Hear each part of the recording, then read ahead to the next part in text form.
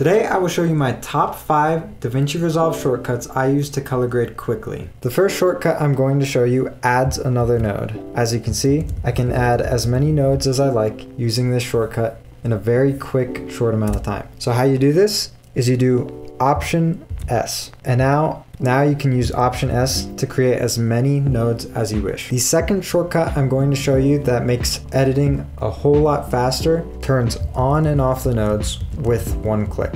So you can do individual nodes to see what is doing what.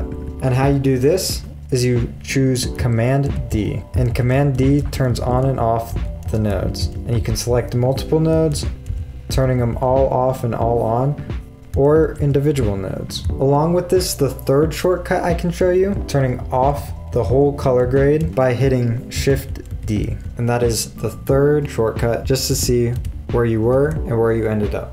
Now the fourth shortcut that I'm going to show you, first I need to select an area. So you can see over here on this node, I selected the yellow area.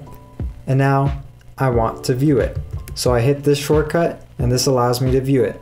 Now this shortcut is Shift H. Shift H allows you to view what you've selected using the qualifier and you can invert this. And it can also show you individual nodes and what you've decided to do to them. So it's basically just showing you what you did on this specific node. So if I were to go to this node, it only shows me what I did on this node. And that is what Shift H does. Now for the last shortcuts, all you have to do is use it to scrub. As you can see, I'm scrubbing through the footage really fast. And this shortcut is J, K, and L. J is to go backwards, K is to pause, and L is to speed forwards. Now that you know some shortcuts to speed up your color grading, I suggest watching this video where I teach you how to color grade a cinematic look for your footage.